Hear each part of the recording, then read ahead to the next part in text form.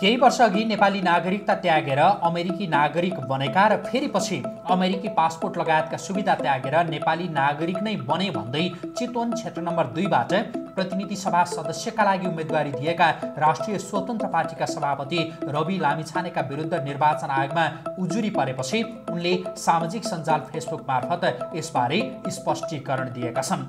निर्वाचन आयोगको पत्र आएपछि प्रक्रियागत रूपमा आयोगलाई जवाफ दिने बताएका लामिछानेले आफ्नो नागरिकता सम्बन्धी विषय चार वर्ष अघि नै सेटल भइसकेको दावी गरेका छन्। सामाजिक सञ्जाल फेसबुकमा थकित मुद्रामा देखिएका लामिछानेले आफू अमेरिकाका सबै सुविधा छाडेर देश फर्किएको भन्दै औपचारिक रूपमा पैसा तिरेर र निवेदन दिएर अमेरिकी पासपोर्ट परित्याग गरेको बताए। निर्वाचनको मुखमा कसैका लागि यो फन्डा भयो होला? हामीमाथि फिजिकल र डिजिटल दुवै आक्रमण निरन्तर चलि नै रहेको छ उनले सामाजिक सञ्जाल मार्फत भनेका छन्। नमस्ते फेसबुक लाइभमा जोडिनुभएका सबैजनालाई म स्वागत गर्छु।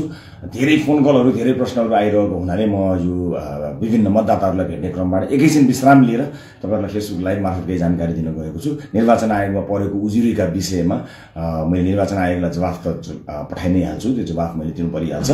तर यो आजभन्दा चार वर्ष अगाडि सल्किएको विषय हो। यो धेरै अगाडि नै समाधान भइसकेको सबै जानकारी गराइसकेको विषय हो। त्यस कारणले उजुरी पर्नु ठुलो कुरा होइन उजुरी परिसकेपछि त्यसलाई जवाफ दिने हो त्यो सम्बन्धित निकायले हेर्ला नै हेर्ला तर अहिले धेरैजनाले के हो कसो भन्ने प्रश्न गर्नुभएको छ कुनै पनि हात दिनुपर्ने विषय केही पनि छैन। यो देशमा धेरै मान्छेहरू कतिखेर विदेश जाउँ भनेर लाइन लागेर बसेका छन्। यो देशमा कयौँ मान्छेहरू अहिले पनि डिबीमा भर्नको लागि लाइन लागेर बसेका छन्। कयौँ मान्छेहरू छन् जो यो देशमा सम्भावना नदेखेर बाध्य भएर विदेश जान खोजेका छन्।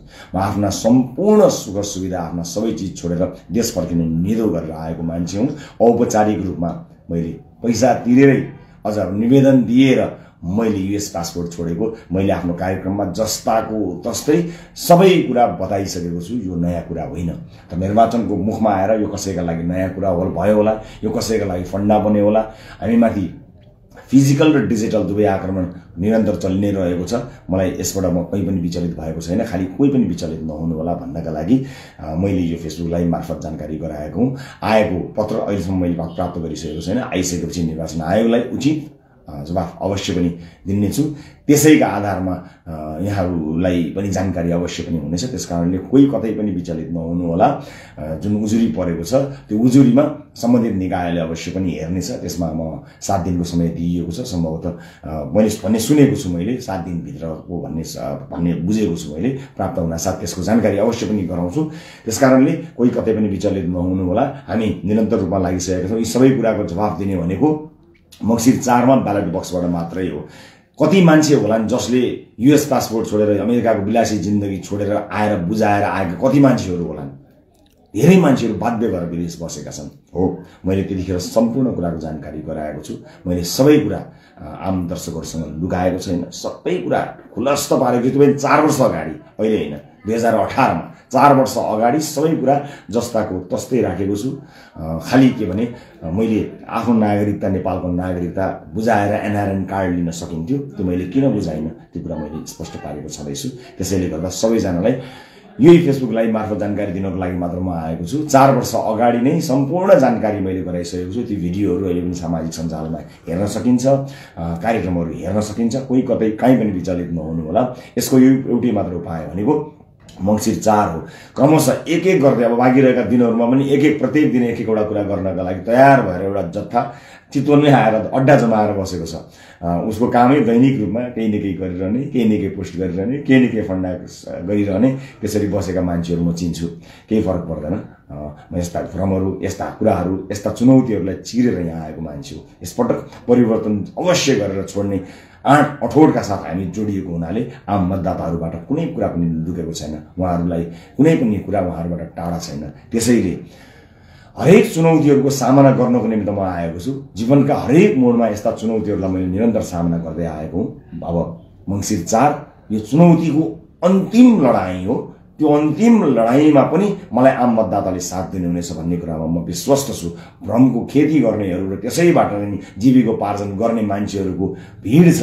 त्यो भिडबाट मैले आफूलाई अलग राखेर नागरिकको सेवामा लगाएको छु। त्यो आज मात्र होइन हिजै लगाएको त्यसैले त्यसलाई अन्तिम रूप दिन नीति निर्माण तहमा हामी जाँदैछौँ। देशैभरिका घन्टी वाहकहरूले जित्ने प्रक्षेपणसँगै अब हामीमाथि प्रहार सुरु भएको छ। फिजिकल प्रहार गाडीमाथि प्रहार गरियो डिजिटल प्रहार अब सामाजिक सञ्जालमा यसलाई लिएर अनेक टिका टिप्पणीहरू हुनेछन् कृपया ती टिका टिप्पणीहरूबाट कोही कतै विचलित नहुनु होला म त्यति भन्नको लागि अहिले व्यस्त तालिकाबाट अलिकति विश्राम लिएर तपाईँहरूलाई फेसबुक लाइभमा त जोडिएको छु। सबैलाई म यही भन्न चाहन्छु कि एउटा उजुरी हो। त्यो उजुरीको जवाफ हामी दिनेछौँ र त्यो उजुरीको जवाफ चित्त नबुझेको खण्डमा त्यसका प्रक्रियाहरू होला ती प्रक्रियाहरू सामना गर्न म सदैव तयार छु। तर मैले निष्ठापूर्वक यो समाजमा गरेको काम निष्ठापूर्वक यहाँ भएका आम दाजुभाइ दिदीबहिनीहरूलाई गरेको सेवा आम दाजुभाइ दिदीबहिनीबाट लुकेको छैन। हो केही मान्छेहरू छन् तिनलाई जीवनभर पुग्ने गरी मेरा जीवनका केही कमजोरीहरू छन्। तिनै कमजोरीको बलमा जीवनभर उनीहरू मलाई खेदिरहनेछन् म त्यता फर्केर हेर्न आएको मान्छे होइन। त्यसरी खेदेका हरेक ठाउँमा ढुङ्गा हान्ने हरेकलाई मान्छेलाई हेरिरहने भेटिरहने फर्किरहने हो भने जीवनमा कोही पनि अगाडि बढ्न सक्दैन। म त्यस्तो प्रेरणा आउने गरेको पुस्तालाई दिन चाहन्छु कि यस्ता निरन्तरका खेदाई निरन्तरका प्रहारहरूलाई सामना गरेर पनि मान्छे अगाडि बढ्न सक्छ र यो समाजलाई विशिष्ट योगदान दिन सक्छ भन्ने कुराको प्रमाणित गर्ने यात्रामा निस्किएको छु। जति जिस्काए पनि जति चलाए पनि जति विचलित गर्न कोसिस गरे पनि यात्रा निरन्तर थियो छ र रहिरहनेछ। आम मतदाता र अहिले फेसबुक लाइभ हेर्नुहुने सबैलाई यो बारेमा जानकारी गराउनु होला मैले चार वर्ष अगाडि नै वैधानिक रूपमा सेटल गरिसकेको यो विषय त्यही मेरो नागरिकताका आधारमा अहिले मैले डिस्क्रिप्सनमा लेखेको पनि छु। त्यही आधारमा अदालतका निर्णयहरू छन्। म माथि दुरुत्साहनको मुद्दा पर्दाखेरि त्यही आधारमा विभिन्न ठाउँहरूमा पुगेका छन्। त्यही आधारमा मैले सफाई पाएको छु। त्यही आधारमा न्याय अधिवक्ताको कार्यालयसम्म पुगेको छ। यिनै विविध आधारहरूको साथमा म उभिएको छु। कहीँ कतै विचलित भएको छैन। कसैले भ्रमित हुनु आवश्यक छैन। कसैले पनि यसबाट विचलित हुनु जरुरी छैन। मङ्सिर चारमा घन्टीमा अझ बढी मत हालेर यसलाई यसलाई तपाईँहरूले प्रमाणित गरिदिनु पर्नेछ। मङ्सिर चारमा तपाईँले अत्यधिक बहुमतबाट हामीलाई जिताइसकेपछि यी चिजहरूको जवाब ब्यालेट बक्सले नै दिनेछ। हस् अहिलेलाई मैले बिदा मागेँ। नमस्ते।